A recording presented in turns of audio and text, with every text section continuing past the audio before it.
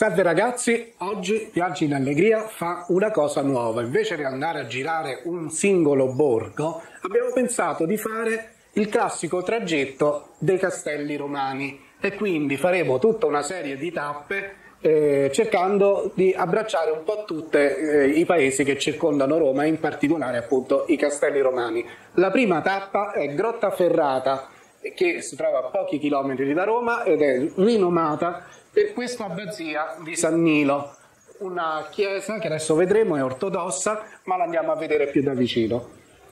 Seguiteci.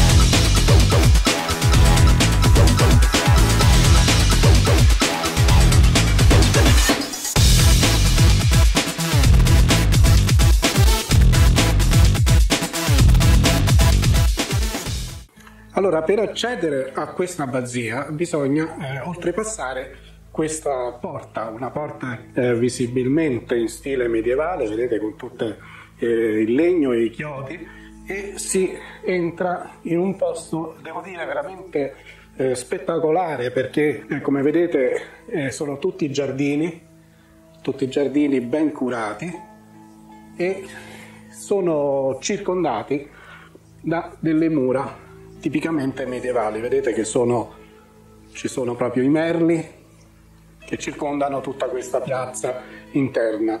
E qui vediamo una statua che San Nilo. Ed è proprio San Nilo, dice la professoressa, perché giustamente, eh, sarà perché si chiamava San Nilo, eh, si chiama San Nilo perché è in onore di questo santo. Questa abbazia è stata costruita sopra una villa romana. Accidenti. Sì, e si conservano ancora dei resti. Nella parte bassa, nel V secolo, appunto era una, mm, praticamente un luogo cristiano. Ah. E venivano, c'erano praticamente queste finestre a, a, a doppie grate sì. che venivano chiamate criptoferrate. Cripto? Criptoferrate ed è per questo che si chiama Grotta Ferrata ah, la località. Ma criptoferrata non ha niente a che vedere con le criptovalute tipo bitcoin, queste cose qui. Non è che era una valuta dell'epoca, no? No. Ah, mannaggia. E eh, va bene, la professoressa mi bacchetta immediatamente. Guarda, sono, guarda qui che bello. Neanche sono arrivato, già mi bacchetta. E va bene, la giornata è ancora lunga e credo che mi bacchetterà ancora. Che cosa è bello? Qui guarda questo campanile, guarda tutta questa costruzione. Oh!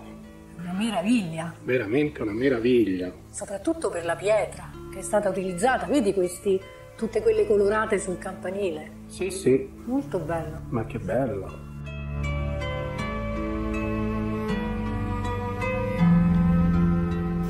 Sempre nel periodo meraviglioso del Medioevo. Eh beh, eh beh. Il Medioevo è il Medioevo.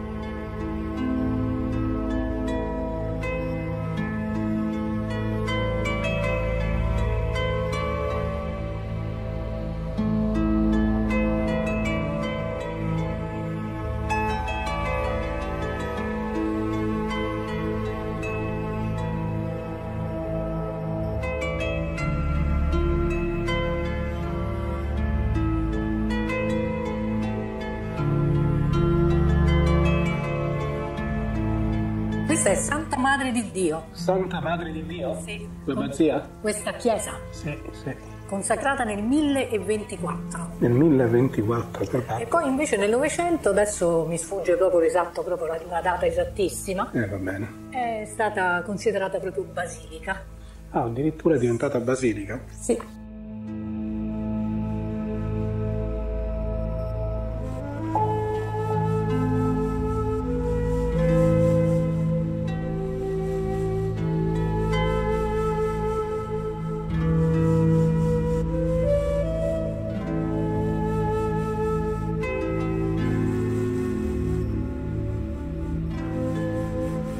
Adesso noi entriamo nella basilica e come al solito per rispetto della sacralità del posto eh, io non parlerò e farò soltanto riprese. A tra un po'.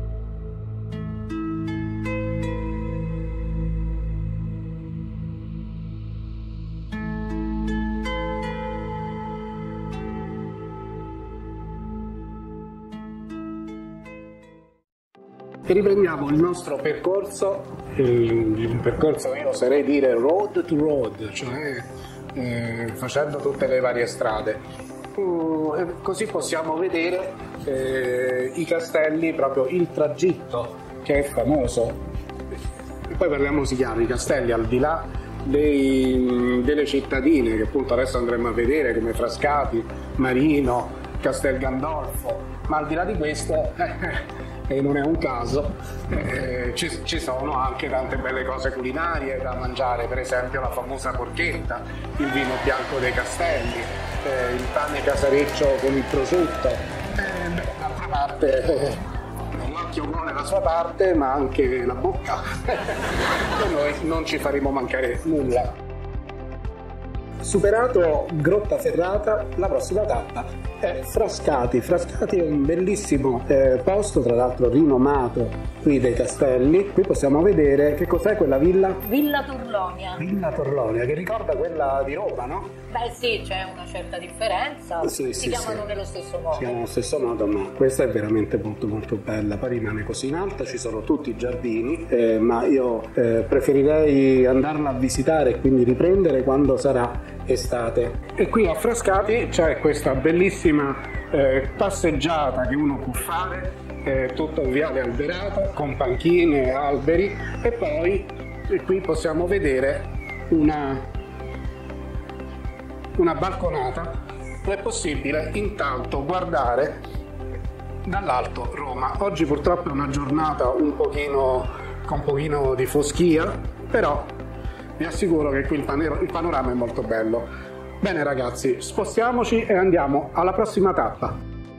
Bene, abbiamo lasciato Frascati e ci stiamo dirigendo al prossimo paesello che è Marino ma abbiamo preso un'altra strada perché ci sembrava molto molto bella da vedere infatti è tutta immersa eh, in un bosco quindi siamo praticamente a una ventina di chilometri da Roma ma forse anche meno ma ci sembra di stare come in un uh, bosco vero? Sì, esattamente. Eh. E poi qui eh, gli alberi proprio sono così ravvicinati. Sì. Sei proprio in, sotto quasi una una grotta, una grotta di alberi. Eh sì, eh sì, eh sì. E qui tra l'altro essendo questi sempre verdi ehm, non ci dà il senso dell'autunno che ci, ci ha lasciato. Sembra già una bella giornata primaverile.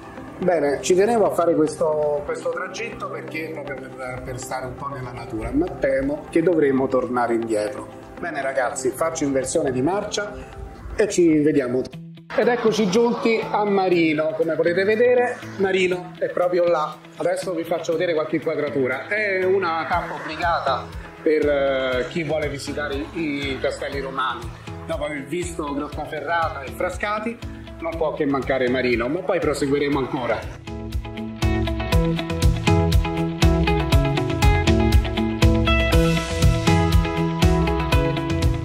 Castel Gandolfo lo possiamo vedere proprio alle mie spalle si può vedere sia um, l'osservatorio ma si può vedere anche l'abitazione del Papa.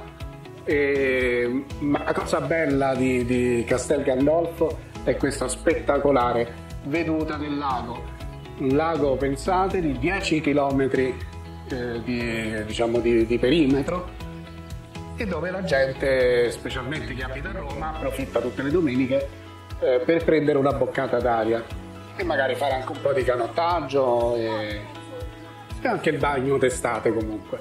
Bene, adesso ci spostiamo da Castel Gandolfo e andiamo avanti, vogliamo andare ad Ariccia. Bene ragazzi, siamo arrivati ad Ariccia, eh, ci sono un po' di macchine che vanno e vengono.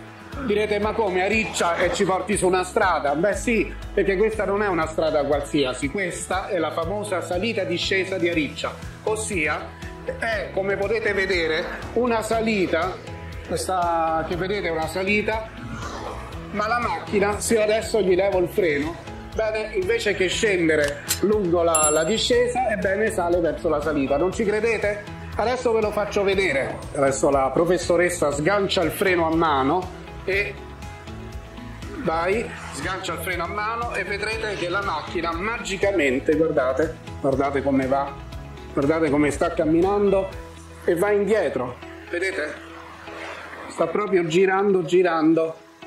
Guardate come prende velocità, eppure vi assicuro che è una salita. E questo è uno dei tanti misteri che eh, ancora molti dibattono su questo. Bene ragazzi, ormai siamo all'imbrunire il nostro tour per i castelli romani, termina qui. Noi vi ringraziamo per averci guardato come al solito e non perdetevi la prossima puntata. Ciao! Ciao!